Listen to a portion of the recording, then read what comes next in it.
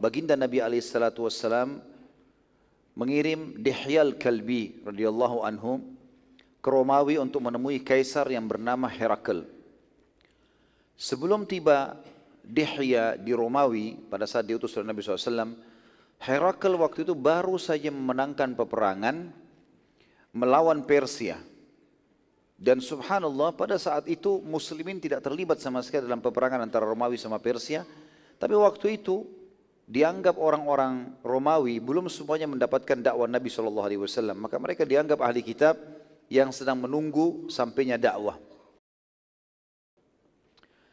Setelah diteliti teman-teman sekalian ternyata ditemukan memang ada kafilah-kafilah Quraisy yang kebetulan lagi ingin belanja ke negeri Syam.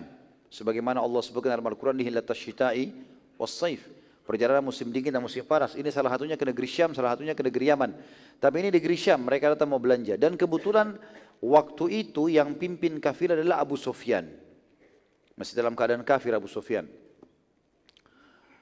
Abu Sufyan lalu kemudian dipanggil oleh pasukan Herakl dan dibawa dia dan seluruh kafilahnya menuju ke istana.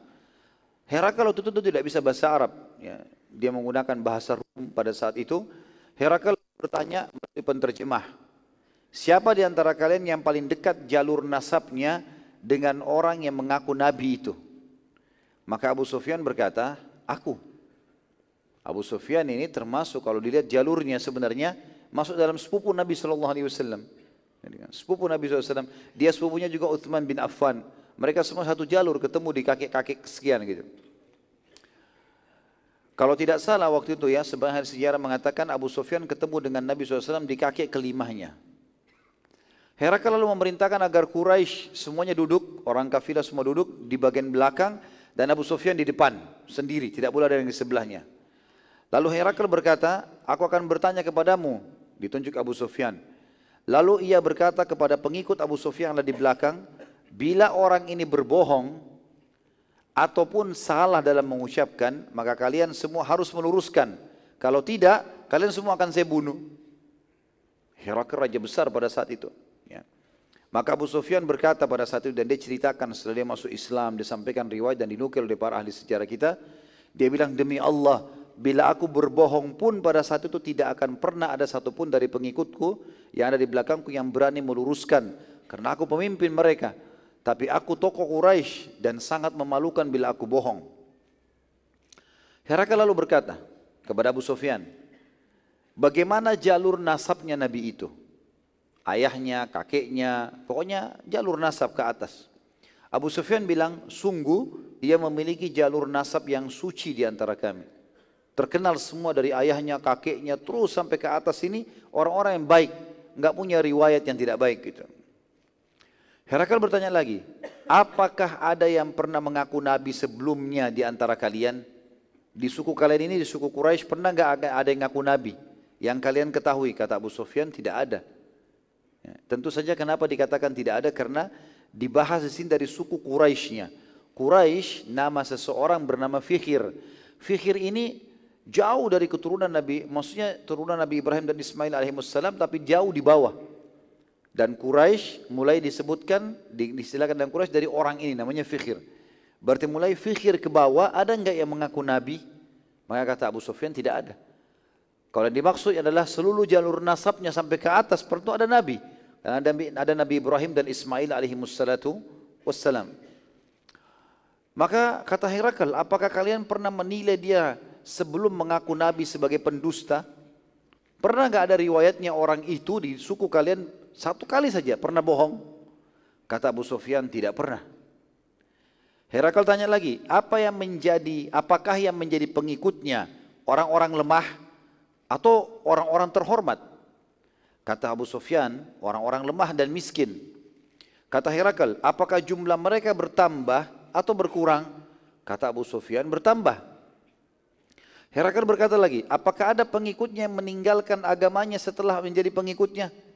Ada enggak orang yang datang ngetes-ngetes terus kemudian pulang lagi, keluar lagi dari agamanya? Kata Abu Sufyan, tidak ada. Bahkan Abu Sufyan termasuk orang yang menyiksa muslimin di Mekah. Dia tahu bagaimana orang-orang sampai berani mati untuk agama ini. Gitu. Kata Herakl, apakah ia pernah berkhianat? Kata Abu Sufyan, tidak pernah. Namun sekarang antara kami dengannya ada kesepakatan damai. Ini adalah kesepakatan Hudaybiyah yang kita pelajari kemarin. Ya. Dan aku tidak tahu apakah ke depannya ia akan khianat atau tidak. Abu Sufyan di sini teman-teman berkata, dia ceritakan setelah dia masuk Islam, dia ceritakan panjang dia mengatakan, sungguh aku tidak mendapatkan celah untuk menghina Nabi Muhammad SAW kecuali pada masalah ini saja. Jadi semuanya baik ini. Jawabannya jujur, harus jujur. Dia bilang saya tidak dapat celah untuk menghinanya kecuali di sini. Saya bilang sekarang lagi ada kesepakatan. Saya tidak tahu ke depan dia khianat atau tidak. Tapi sebelumnya gak pernah berkhianat. Hanya itu celahnya. Gitu. Herakl bertanya lagi. Apakah kalian telah memeranginya? Kata Abu Sufyan, iya. Kata Herakl, bagaimana hasil peperangan kalian dengannya? Kata Abu Sufyan, sekali ia menang, maksudnya perang Badr, dan sekali kami menang, maksudnya perang Uhud. Kata Herakl, apa yang ia perintahkan kepada kalian? Apa dakwanya? Kata Abu Sufyan, ia memerintahkan kami agar menyembah Allah satu tanpa menyekutukannya serta meninggalkan apa yang nenek moyang kami lakukan, sembah-sembah berhala segala macam. Ia juga memerintahkan kepada kami agar mengerjakan solat, jujur dan tidak mengemis serta menjaga silaturahim. Herakl lalu berkata pada penerjemahnya, katakan kepada orang ini baik-baik dengan bahasa yang jelas Aku bertanya kepadamu tentang jalur nasabnya, engkau menjawab bahwa ia memiliki nasab yang suci. Demikian pula para nabi dan rasul yang diutus pada nasab terbaik kaumnya. Herakl sekarang sebutkan kepada Abu Sufyan. Selama ini teman-teman Abu Sufyan selalu memerangi Nabi SAW. Enggak percaya. Siapa Muhammad itu? Salah satu penduduk Mekah. Bahkan Abu Sufyan merasa dirinya lebih kaya gitu kan. Makanya dia tolak terus. Tapi sekarang Abu Sufyan heran, Herakl ini, raja yang selama ini orang Quraisy pun takut dengannya, ini menyebutkan tentang kenabian Nabi SAW. Kau bilang tadi jalur nasabnya baik, maka itu semua semua nabi-nabi begitu. Pasti jalur nasabnya yang terbaik di kaumnya. Aku bertanya kepadamu, apakah ada di antara kalian yang pernah menyatakan hal yang serupa, pernah ngaku nabi? Engkau menjawab, tidak ada. Kalau seandainya ada yang telah menyatakan sebelumnya, dari kakek-kakeknya pernah ngaku nabi, maka aku akan mengatakan bahwa ia hanya mengikuti orang sebelumnya saja. Aku bertanya kepadamu, apakah ada di antara kakeknya yang raja?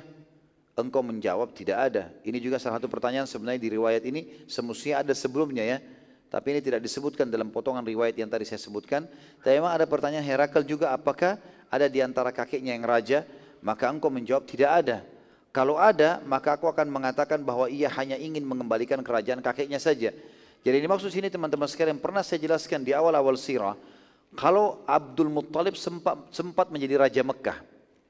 Tetapi sistem yang dipakai di Mekah waktu itu walaupun ada seorang raja atau orang yang dituakan.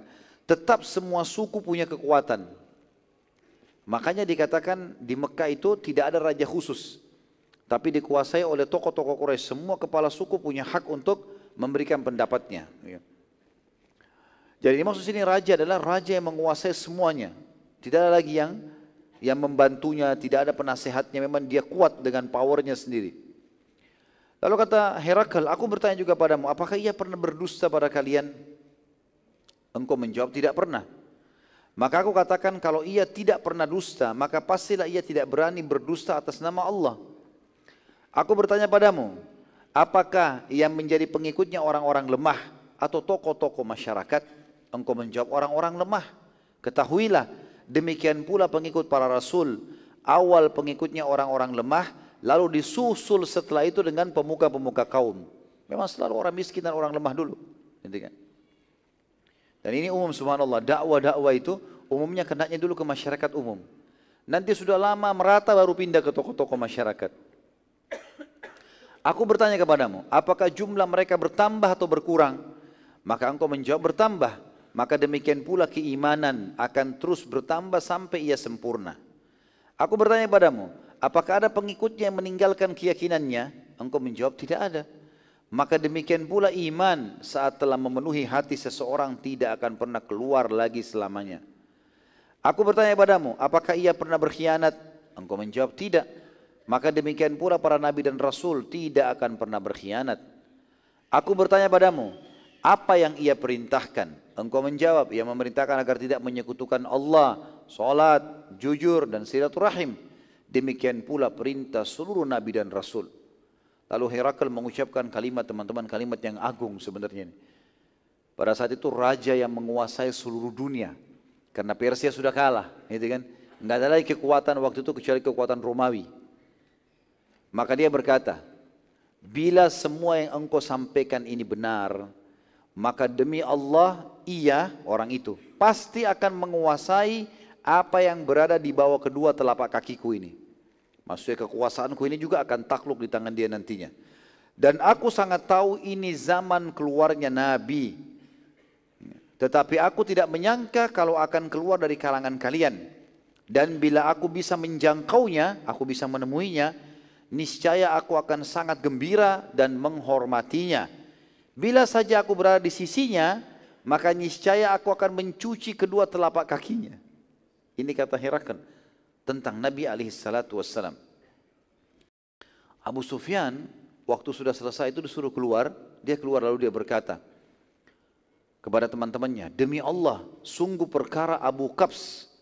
Ini Abu Kabs teman-teman sekalian adalah istilah ejekan dari orang Quraisy untuk Nabi Wasallam.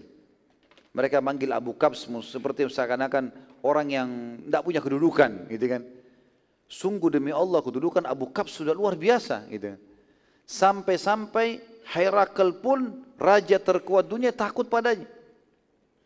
Kata Abu Sufyan, pada saat itu Islam sudah mulai masuk ke dalam hatiku. Karena tidak mungkin ini aneh ini. Kalau sampai raja terkenal dunia dan baru baru menang peperangan, dia merasa sekarang tidak lagi musuhnya di dunia ini. Dia menguasai dunia. Dia mengatakan kalimat tersebut kalau bisa menjangkau Nabi SAW maka dia akan mencuci kakinya telapak kakinya, mencucikan sebagai bentuk khidmah. Padahal dia raja, ini berarti sesuatu yang luar biasa. Sesaat baru saja Abu Sufyan keluar, berpapasan Abu Sufyan keluar dari situ, Dihyal Kalbi sampai. Utusan Nabi SAW. Bawa surat dari Madinah.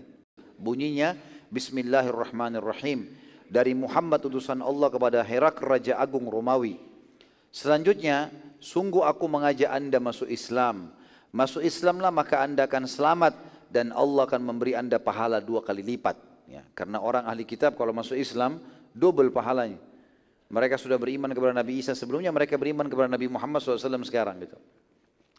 Bila anda menolak, maka anda akan memikul dosa seluruh petani. Waktu itu bangsa Romawi mayoritas pekerjanya petani. Maka bangsa Romawi dikenal bangsa petani, gitu kan. Anda akan menanggung dosa semua petani, maksudnya masyarakat Romawi.